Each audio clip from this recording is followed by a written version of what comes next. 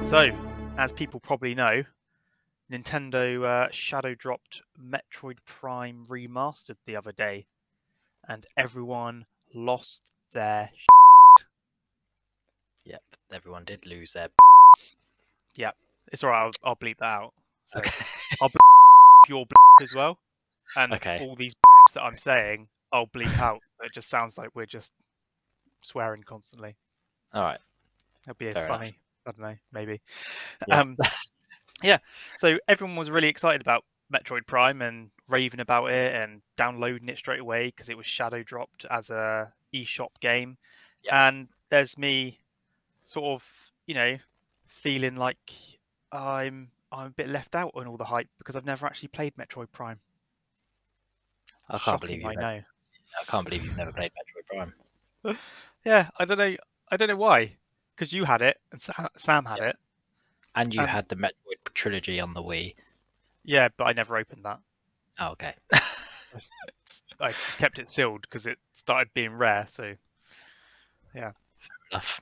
yeah, so I, I watched Sam play it a lot and remember thinking it was amazing, and I should play it, and had the opportunity to to borrow it off him or off you, and then I don't know, I just never did. And then I saw the video of the remaster. I was like, yeah, really want to play this. So I um I tried to pre-order it, couldn't find it anywhere, and I like to have my games physical, so I wasn't going to pay for the download thing. Eventually found it direct from Nintendo, so it's coming. It's on its way from Vancouver, all the way over. Yeah. It So- earlier for you, doesn't it? Uh, yeah, it's actually came out on the twenty second. Oh. Have you But not got it just yet? take- No, because it would, they ship it on that date, so it said it would take about five days. Ah, And to get the extra free shipping, I um bought myself a pair of Donkey Kong pajama bottoms, nice. so that was a bonus. yeah, I pre-ordered mine. I get mine Yeah. on Friday, the third. the third is that when it's March. Yeah. Amazon said, "Yep, you'll get it on this day." So, Because people have been scalping it, haven't they? yep, Like I've seen copies up for like hundred and fifty dollars. Is that is that the same in the UK? People have been scalping it, that's not out yet. but have they been scalping like their pre-orders, like putting up saying Oh. like you know I have no idea. I've only seen pictures on Twitter of like it being scalped for dollars. Oh, okay. So I imagine it's being doing a lot in America. Yeah. So, because I've never played it before, I just thought maybe you could tell me a bit about the game. All right. Bearing in mind, it's been like 20 years or 15 years since I've played it. Uh, I also thought it'd be funny that if you're just like, oh yeah, there's this level when you do this, and then we play the remaster, and that's just not it at all. You've just dreamt it up. I remember the beginning. You would Yeah. have liked the original because it had GoldenEye controls. Oh yeah. Hopefully One the stick. remaster still has. They've changed the controls to like modern, but I think you can customize them to play it retro. I'll be doing that. But I remember it was graphically it was insane. Like considering it as a GameCube game at the time, I thought it looked like one of the best games I've ever played. Yeah. Uh, you start off on this uh, space station kind of thing, and Samus um, ends up losing all of her powers. Then you just go to different planets, and you like get your power ups as you go along. You can scan basically everything to find out all about the worlds that you visit. Yeah. Yeah, there's Metroids everywhere, and there's uh, you know, Ridley's around. It is it is very good. I love this really in-depth description of the game. There's can't- Metroids. There's a Samus. There's Yeah. space. Yeah. How many years since you last played it? Oh. Whenever it came out, 2002, 2003. yeah, I don't know, around about then. I tried Yeah. playing the trilogy on the Wii, but at that point, I was just so tired of the Wii controls that I just gave up. Yeah. Yeah, that's why I've never played Skyward Sword. You had Skyward Sword though, didn't you? I have Skyward Sword, yeah. I even bought this limited edition that came with the 20th anniversary CD of the soundtrack and the gold. Gold Wii remote. Yeah. But the controls are just so bad, I just never played it. You must have played it to know the controls are bad. I got to the fiery level. Yeah, I don't know how far that is. I don't know. I can't remember. I got as far to when you do the weird time travel bit. Didn't even know there was time traveling in it. Well, I say time travel. You basically just like change the age of an area almost. I don't know. Very, Yeah, very you could- vaguely remember. Yeah. Anyway, um, this this is talking about Metroid, not Skyward Sword. Five minutes off topic. Standard. Um, I know in the Super. original on the on on the original on the GameCube, you could get the Metroid Fusion costume by connecting your Game Boy Advance to the, the GameCube. That's cool. I wonder if they've kept that in as like an unlockable or If you've played Dread or something, or Fu- Metroid Fusion is on the uh, Game Boy Advance Nintendo service now, isn't it? yeah, I don't know if they've So added that though. They could do that, some sort of link. Didn't it also Oh, have the original Metroid games on it? Had the original Metroid? I thought it had the original Metroid as an unlockable. Who knows? I did complete it. You before I had, but I did complete. I can't believe you never played it.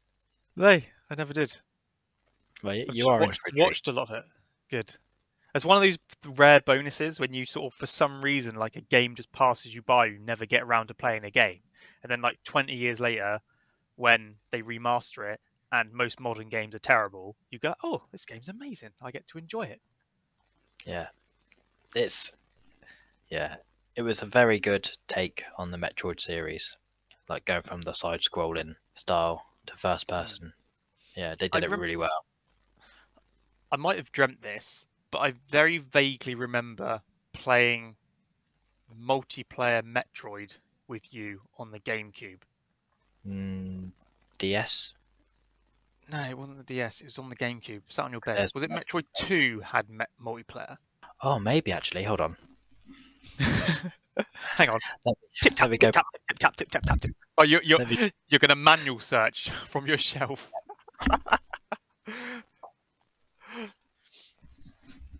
He's got the box. You're gonna check. Huh? I said you've got the box. You're gonna check. It is. Metroid Prime 2 was 1 to 4 player. Oh yeah, it was multiplayer. Where's my camera? I do remember correctly. Yeah, Yeah, I never completed the second one. No, I got to a boss and I just kept dying, so I gave up. I, I've heard they've added like an easy mode to it as well. For the for remastered for like people like me. I don't really know what what they've added to it, to be honest, apart from the Yeah. improved graphics, which people are um, going really mental about on Twitter, like in a good way, saying that it Oh. just looks incredible. Like Mm. some people are saying it looks like the best Switch game. When I saw it, I was like, "Yeah, looks like how I remember Metroid Prime looking." And then I watched like a comparison video, and I'm like, "Oh, yeah, no, it didn't at all." But I'm excited to get it. Yeah. It's um, it's not like a normal first-person shooter though, is it? Because you've got, it's almost like an adventure game in first person. Because there's like almost like platforming elements, isn't there? I Yeah. remember. Yeah, Yeah. there's a few platform elements, and when you go into your Samus ball, whatever you want to call it, Morph ball. when you go into your Samus ball.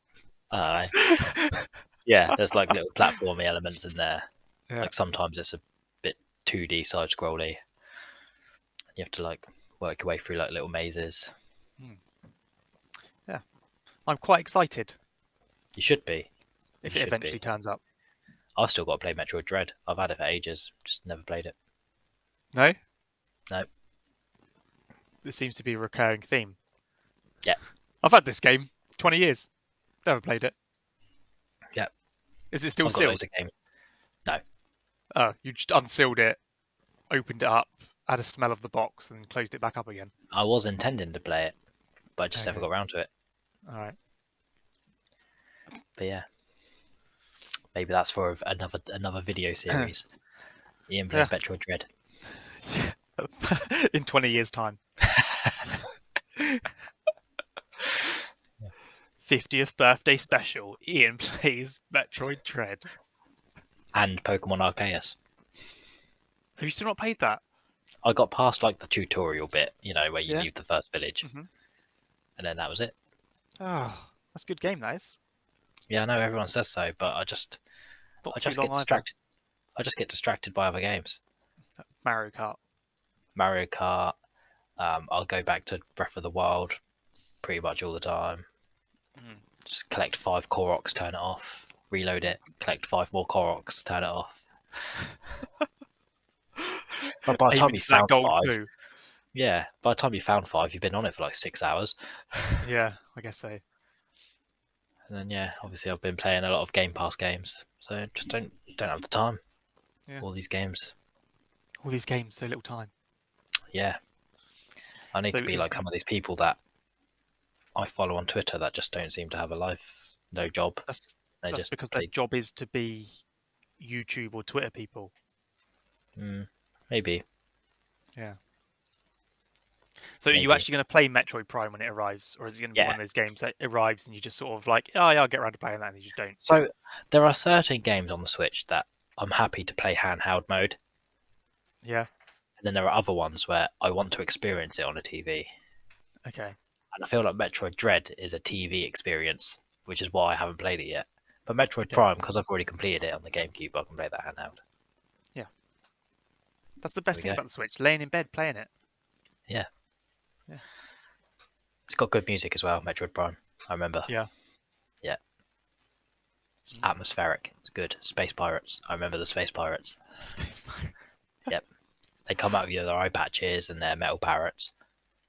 Metal Parrots. I'm joking. They don't come out. With Oh. They're not like pirates.